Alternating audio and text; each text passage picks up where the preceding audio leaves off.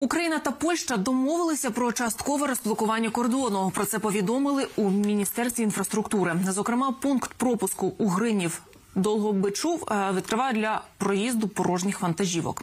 Також запровадять і окремі паси для порожніх авто у системі є черга на пунктах пропуску Ягодин Дорогуськ та Краківець Корчова. Яка ж зараз там ситуація? Ми дізнаємося у речника Державної прикордонної служби України Андрія Демченко. Він вже з нами наживо. Пане Андрію, мої вітання вам. Вітаю студія.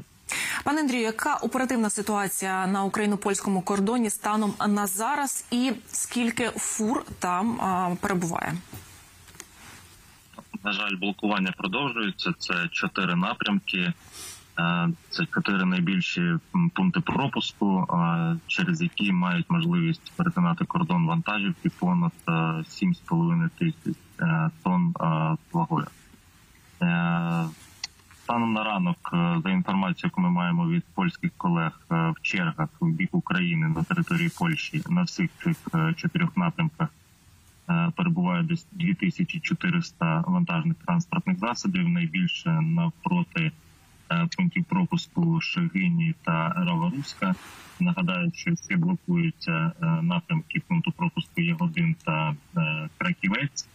Е, Звісно, що ми фіксуємо, що певна кількість вантажних транспортних засобів е, за добу перетинає кордон як на виїзд е, з Польщі, так і польська сторона приймає певну кількість вантажних транспортних засобів, але тої інтенсивності, яка була до е, 6, е, 6 листопада, її немає. Бо, до прикладу, найбільший пропуску Ягодин, через який раніше за добу 1200-1300 вантажівок перетинало кордон по напрямки за минулу перетнуло десь близько 150 е, транспортних Е, Пане Іване, у міністерстві інфраструктури повідомляли, що такі е, заходи врегулювання тимчасової ситуації на польсько-українському кордоні вони запроваджені до неділі.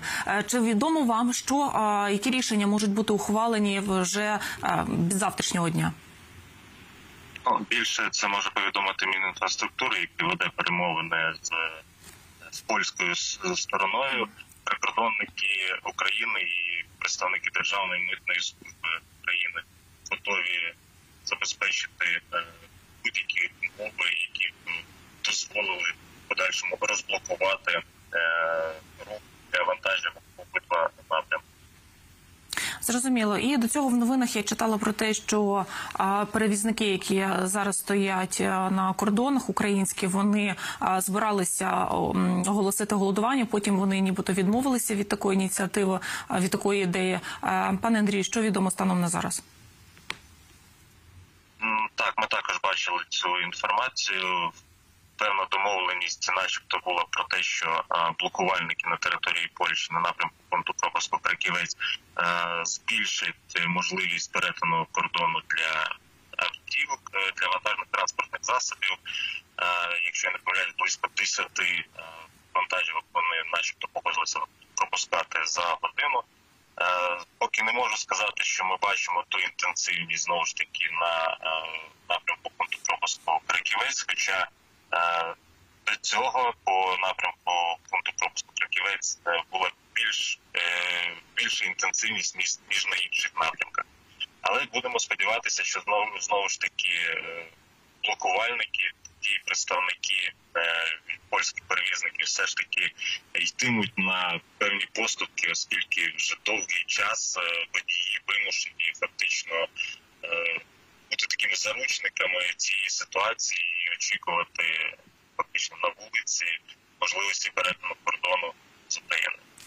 Пане Андрію, до польських перевізників долучилися і словацькі, які також напередодні почали блокувати рух вантажівок. Наразі заблоковано пропускний пункт е, Вишня Німецьке, який суміжний з пунктом.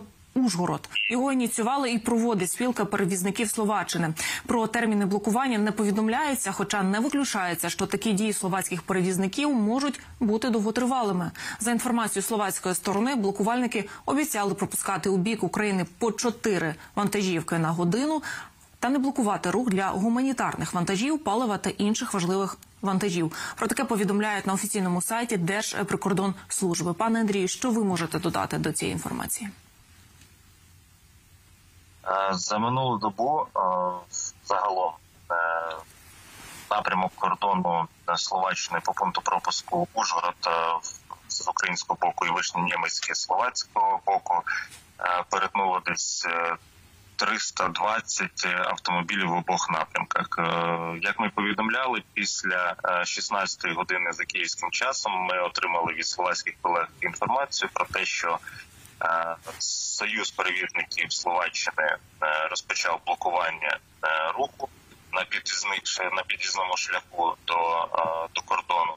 Ну і власне е, треба розуміти, що цей напрямок також за останній час є досить е, активним в русі вантажівок, бо через дії, е, які відбуваються на польському кордоні, е, перевізники, водії е, обрали для себе альтернативні е, напрямки, і, зокрема, напрямок кордону з Словаччиною. Е, Станом на ранок сьогодні е, в черзі в бік України на території Словаччини перебуває десь е, 600 вантажних транспортних засобів з можливістю перетнути кордон. І власне також сподіваємося, що е, навіть попри те, що е, рух блокується, але е, учасники цієї акції дотримуватимуться навіть тих. Тих своїх же ж слів щодо пропуску і гуманітарної допомоги, і інших важливих вантажів, і решти, про які вони зазначали. Ну і власне, що звісно, ми сподіваємося, що їхні дії завершаться якомога швидше, хоча ця акція зазначалася як е, безстрокова. Пане Андрію, я вам дякую за розмову. Сподіваємося, що усі сторони зможуть знайти і погодити порозуміння, і процес цей буде врегульований. Андрій Девченко був з нами наживо, речник Державної прикордонної служби України.